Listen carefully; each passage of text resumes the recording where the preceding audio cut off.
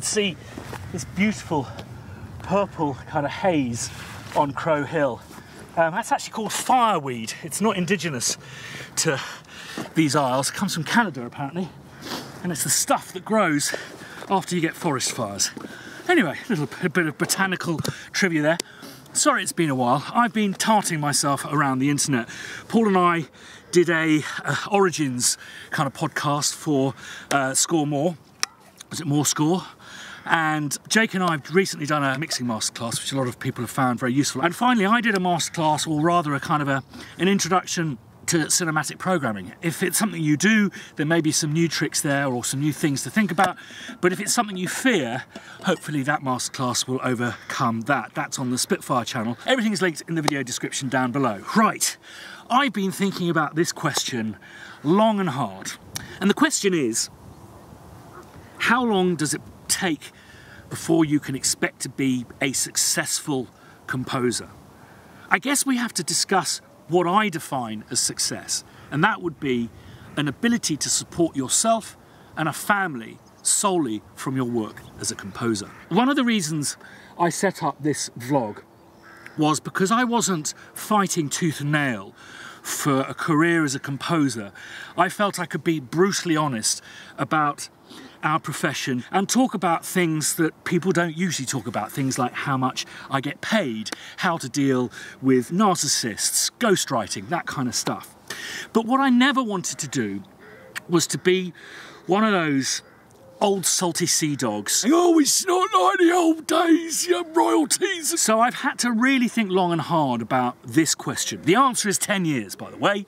I've had two moments where I've had to tread softly. Uh, one, a gentleman the same age as me, and I'm 49, suggested that he had now kind of felt that he'd nailed his composing chops and now wanted to go out there, start working as a composer. And then also recently we advertised for a running position up here in Edinburgh, and I alluded to the fact that it would suit a young, enthusiastic person, and I got accused of ageism. The reason why starting out in this industry suits younger people as a generalization is because you have to sacrifice a lot. And it is very difficult to sacrifice further down the line at a point in life where you tend to have more responsibilities.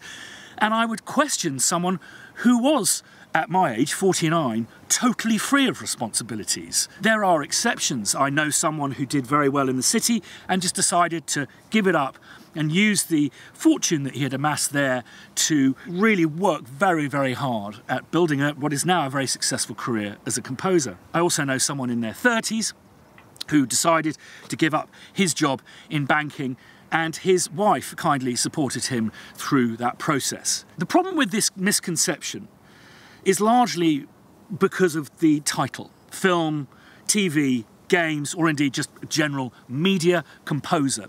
It implies, like with tomato ketchup, that the biggest single ingredient in that condiment, well, you'd hope it would be tomatoes. Not so with the ingredients of being a media composer. It's not just one job, it's three. But in the component that is composition, there are some specific nuances that are best learnt through experience, not through academic study or indeed just practicing in your room. Namely, okay, so you are going to do a bit of composition, but you will also have to write to picture. I've never found this particularly difficult, but it is a skill subset that you require. The ability to work to brief is for many one of the hardest things to crack. The willingness to abandon your own artistic sensibilities in order to tell someone else's story, an ability to work very quickly, and a willingness to revise and recut your work depending on the whims of focus groups, producers, executives, and the ever changing cut of the show that you're working on. And I would say, with this aspect of job number one you have to do as a media composer, the 10,000 hour rule probably applies, which you could say for most people not working crazy hours takes about six years. I reckon probably if you work crazy hours, make those sacrifices I mentioned, you'll probably nail the craft of being a media composer in about four years. But that's just one of the three jobs. There's this kind of misconception that once you've nailed your composing chops, there's this open marketplace that our industry is democratized. Of course, it isn't. There is a slightly more equal opportunity based on the cheapness of technology and the fact that internet allows us to connect with people in ways that was much more difficult in the past. But a hierarchy will always form. What basically this so-called democratization means for producer is they have a, a broader and more diverse pick of the crop. The second job is HOD, as I've mentioned before, which stands for Head of Department. And within that job, you have to be a responsible member of the crew.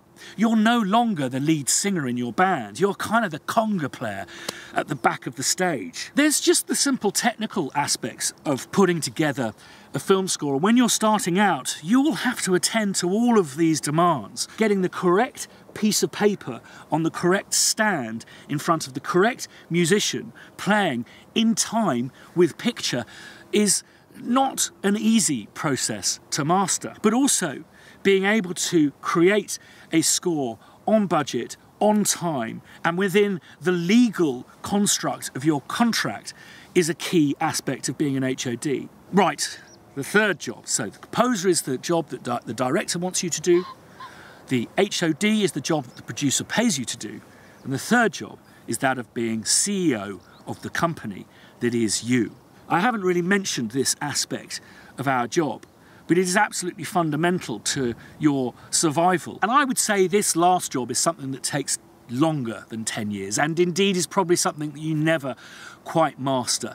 Every day's a school day. But you do have to take certain considerations into account from the get go, namely marketing and branding. In this day and age, if you are not marketing yourself, if you're not exploiting the possibilities of social media, you will simply be competing with people who do. Just familiarity in making people understand where you come from and who you are is absolutely crucial and you will fare worse against people who are starting out who do have a presence, who do project some kind of ethos, some brand identity. The one thing I ask students who are about to graduate from their courses for scoring music to picture or modern uh, production techniques style courses is have you been taught to do a business plan? And I very rarely get a, a, an answer in the affirmative. Planning your future is crucial. The CEO part of you is not what you're paid for by producers and, and is not what your director is interested in, but it is fundamental to building a career. And I guess one of the most important things alongside marketing, alongside business planning, just not going bust, is strategy. And this is something that I've really only learned over the last few years, really doing this vlog and thinking this stuff through. And that is, you know, one of the biggest mistakes I've made is not starting to say no. You know, the first rule of Hollywood is to say yes to everything and to everyone.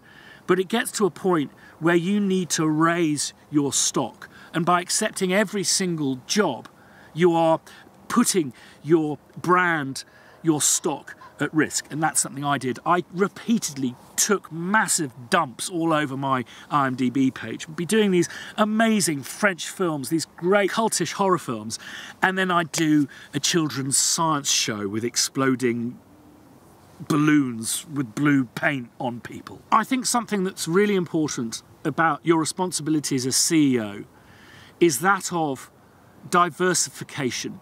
I think that you will find, and I have found, that for most composers, there's a couple of strings to their bow. So for me, I started out as a drum programmer whilst I was cutting my teeth as a, as a, co a composer.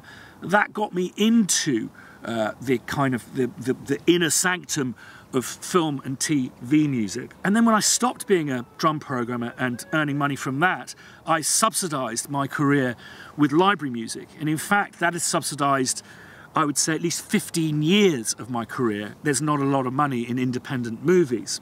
And you can now see that whilst my main income is still as a composer, I have a secondary income working for Spitfire Audio. And this is something that, again, needs planning. You need to make time for these important sources of revenue, whether that be drum programming, orchestrating, copying, conducting. You're not being paid to compose. You're being paid to deliver a score on time, on budget. You're not being paid to compose, you're being paid to help a director tell a story. And when you do pay yourself, you need to work out how to organise your affairs so you can carry on being an effective composer, an effective HOD, an effective CEO. And that takes 10 years, which is why it tends to suit people who are younger, who have less to sacrifice. As always, I look at the comments down below. So if you have any further questions for me, please link them down there. And I appreciate the, the comments that you make. There were two comments that inspired me to make this video which I've been thinking about for three months now because I really wanted to get the tone right. It's not about putting you off, but it is about making you understand that it does require a huge amount of sacrifice, hard work, conscientiousness, and just building a body of experience. Many of you who are, have been new to this vlog over the last six months will go, why is a bloke standing on a hill talking about guitar pedals? The reason I do this is to remind you to get out and about. All of these considerations, whether it be compositional, technical aspects of writing something to picture, HOD conundrums of what band to use, how to keep yourself within the budget, or indeed how you're going to create that next marketing push for that job that you've been shortlisted for. These ideas don't come sitting in front of a mother keyboard and Logic or Pro Tools or Cubase or Ableton.